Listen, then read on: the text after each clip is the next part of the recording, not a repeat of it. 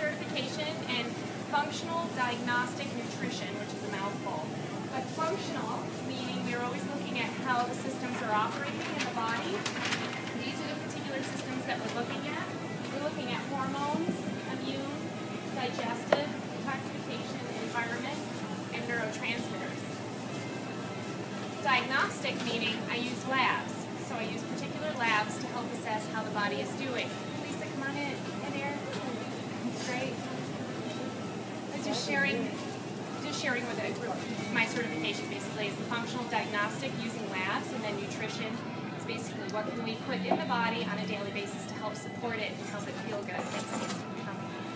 Um, so I want to refer a little bit to a we've done this a few times, but I'm going to go ahead and do it again, especially for those members that haven't been here. And we're going to start out, I'm going to have Maureen and Matthew help me on this one. Okay, so what is that thing that holds our brain? Is that thing called? A head, you got it. So here we have our head or brain in here. And what's connected to the head? The neck, as well as what's the whole rest of it called? The body, you got it. So here is body. And these two are always communicating with each other. And how do they communicate? Through nerves. We have nerves, cells, blood. Blood flows all the way through our body. And when everything's communicating optimally and everything's running uh, perfectly well, we can say that we have 100% function. Another way of also saying it, that is that our body is at a state of ease. It feels really relaxed because it can do everything that it wants to do and that it needs to do when it's not feeling relaxed and feeling like it's doing everything that it needs to do, we develop symptoms. Symptoms are feeling sick. What could be another symptom? Headaches is a great one, an achy arm, stomach ache, any of those things could be classified as a symptom. This is usually when we go see our doctor. And we need that relief care. But when we develop symptoms, we can say that our body is at a state of dis-ease. Dis-ease, and I'm sure we recognize that word as disease. We can also say that we have malfunction in our systems. This is what I'm always looking at. Why? What are the root causes for this malfunction or disease? So, um, and as I shared with you, as a functional diagnostic nutrition, I'm always looking at functions and systems. This is our third session of a four-part series. In session one, we talked about getting to the root cause, understanding why people become sick. And I just heard a statistic recently that said that 95% of all sickness can be related to at least a year prior to a, a very stressful event, whether it was a physical stress or an emotional stress. So we need to understand why is the body malfunctioning.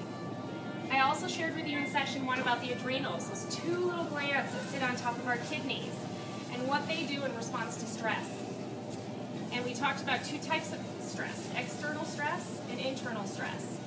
And external stress might be schoolwork, we might find that stressful. Um, socializing with our friends, we might find that stressful.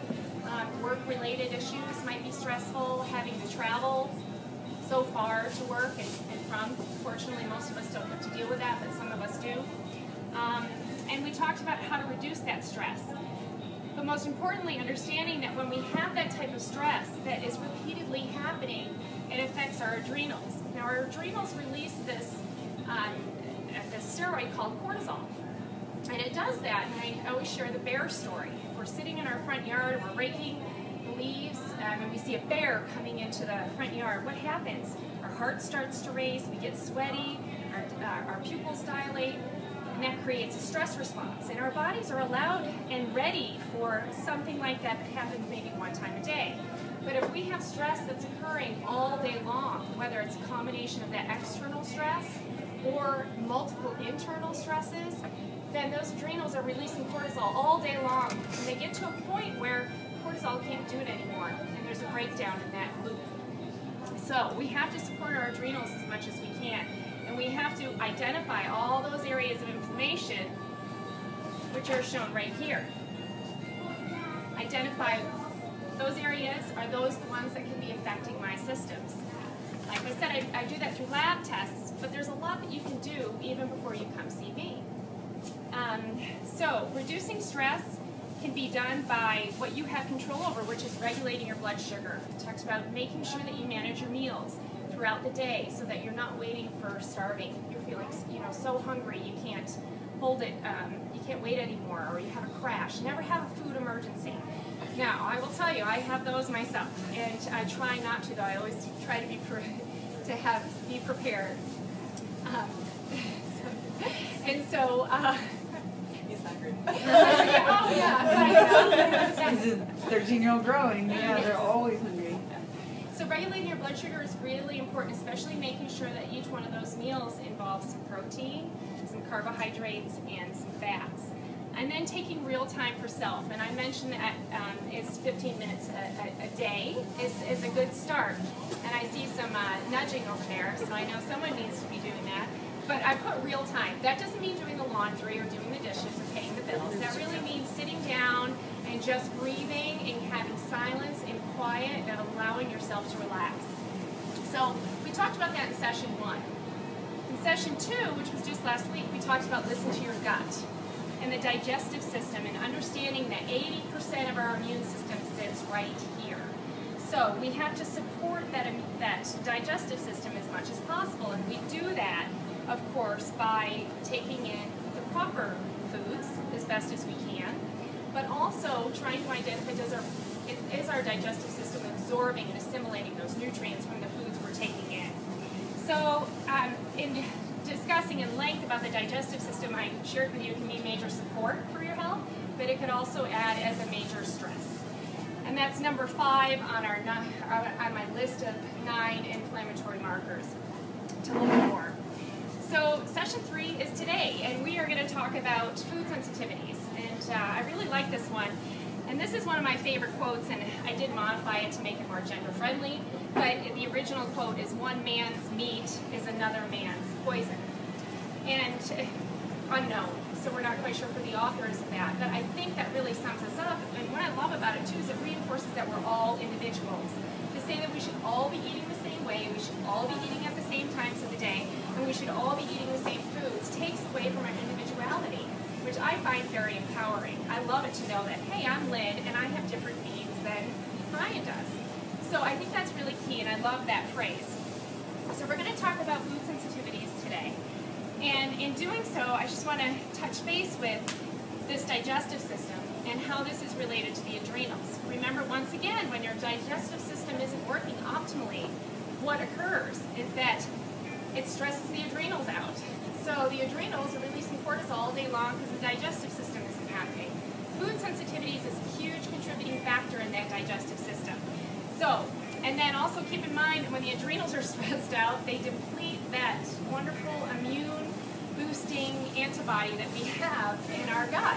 So it's just cyclical. You end up just going all the, you know, constantly in this endless cycle that just won't end. So it's important to recognize how you can support the adrenals and how you can support the gut. Food sensitivities is a key area in doing that. Now, there's always a lot of questions, and there's uh, discussions about food allergies, food sensitivities, food intolerances, which is it, what do I have? A true food allergy is actually an IgE response. Now, last week I talked about secretory IgA, and that's the antibody, the main um, immunoglobulin that sits in our gut and creates 80% of our immune system. Well, there are other antibody groups as well. There's IgE, there's IgG, there's IgA, and there's IgM. And I had a great speaker talk about how we have the Marines in our body, we have the Navy, we have the Armed Forces, and we have the, um, the energetic Navy SEALs. So, and I just love those analogies because that's basically what we have is little militaries that are sitting in our body and they're trying to fight all those invaders, anything that's coming into the body that's foreign. So, um, it's necessary to understand the differences. IgE is a true allergy. IgE antibodies are present in your skin, in your lungs, and in your mucous membranes. They are, um, that's the immediate reactions that you usually get, or people can often get, as a result of either taking in a food, of an environmental toxin, whatever it may be. It's usually quite severe in reaction. Um, it can cause um, as severe as a reaction as anaphylaxis. So those are the IgE responses. It's not that common, IgE uh, but it's necessary to understand. And some people will know, like if they pet a cat, they sneeze right away. That would be an IgE response. Now, there's also the IgG antibodies. And these are the antibodies that we're talking about when we discuss food sensitivities. These are the ones that can have a delayed onset. So you eat a food, and up to three days later, it's, it's created an effect on your body. And it's okay, maybe if you only have one of them, which you don't even know that you may have this. And so if you have multiples of those, that's a cumulative stress load on the body. And as I always emphasize, we want to reduce that total stress load as much as possible identify the areas that need support. And if you give the body the tools it needs, it will sort itself out. It wants to. It's constantly striving to be in that state of ease, like we discussed. So, with IgG food sensitivities, it's delayed, as I mentioned. It creates a chronic, low-grade inflammation. And so, you know, and I've had people say to me, well, yeah, but how can this really affect my health? I don't understand. What does that have to do with my head? What does it have to do with my achy joints? And as I discussed with you, just to reinforce and getting back to that gut and how central that is to our immune system and making us feel good, and that adrenal digestive loop that we talked about. So, have the IgG food sensitivities, the IgE food sensitivities. I mentioned to you that there's the IgA and IgM. Those get tested often, but those are typically a response to um, more immune system, not necessarily food sensitivity. So those are the two the IgE and the IgG are the two different types. Now, medical doctors um, in general test for IgE. They want the emergency response. That's, that's what they're trained to do, is to offer that emergency relief.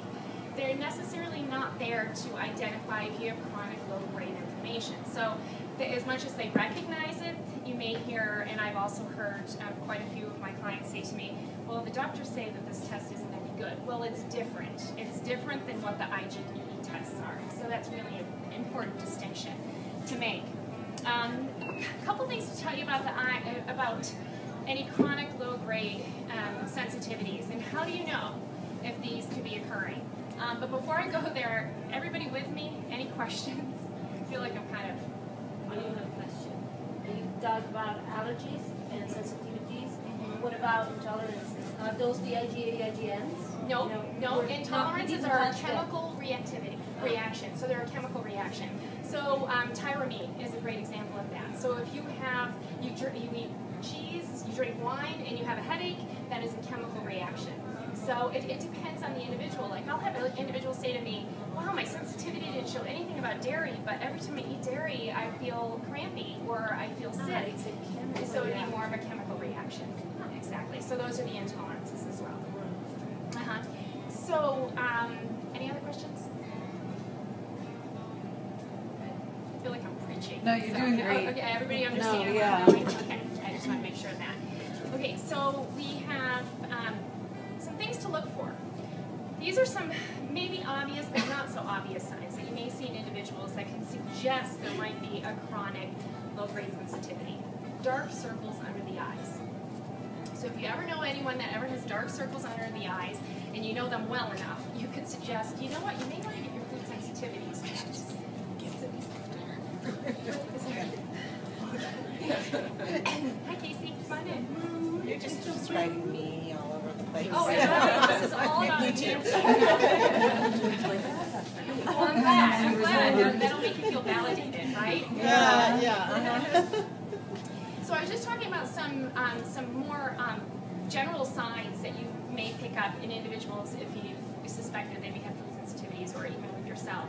So dark circles under the eyes, I had started with. Um, another one is chronic uh, congestion.